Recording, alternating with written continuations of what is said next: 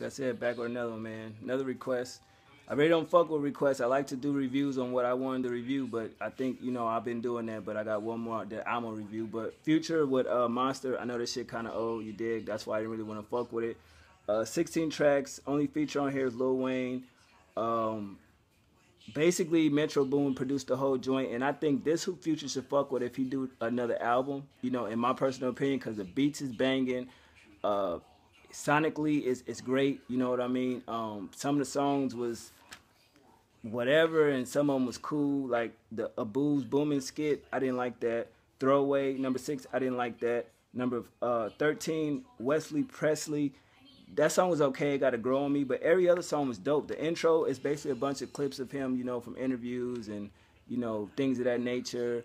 As far as the Hot 97 shit, and you know back when a lot of controversy was happening with Future. So I thought that was dope to actually put that in there. Then it goes into Radical, which is I listened to that shit twice, and I was like, damn, this song is pretty dope. You know what I mean? I, I was fucking with it.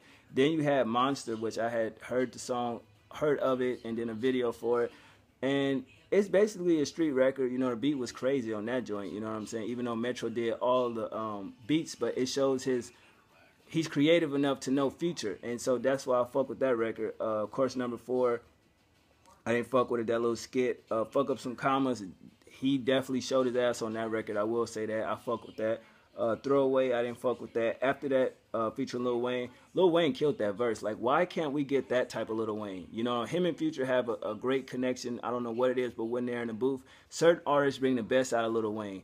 And I think what Lil Wayne needs for the Carter Five, he needs some Metro Boomin beats because he definitely spoke some real shit on that verse. It was not a horrible verse. I'm like, God damn, that's one of the better verses that we heard from Lil Wayne this year, in my personal opinion. My Savages, he spoke on a lot of topics on that record. You know, with this mixtape, he actually was kind of deep in a way. It wasn't really the club type, you know, lean sipping, drug talk type future. Like he actually had some content in his music, and I was kind of shocked at that. So you definitely got to listen for it. He actually has content in the music. My Savages is, is basically one of them, in my opinion.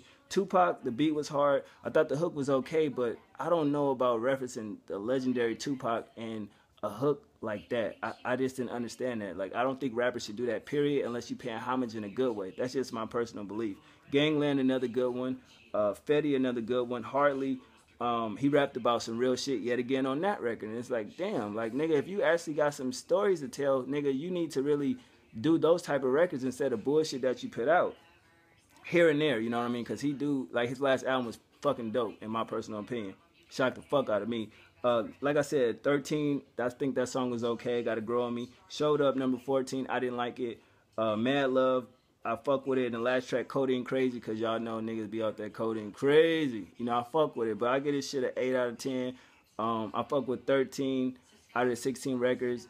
The beats, they get an 8.5 out of 10. Metro Boomin definitely produced this joint, and they went in there and did their thing on it. We have been seeing that this motherfucker was supposed to come out, you know what I mean? So at the end of the day, Future did his thing on it. You know, uh, it was a fucking request, so, you know, I hope y'all enjoy it. You know, um, I can't say I'm the biggest Future fan because him, the Migos, Soulja Boy, Chief Keef, all niggas sound the same. You feel me? But I, I guess you could say Future kind of originated that style.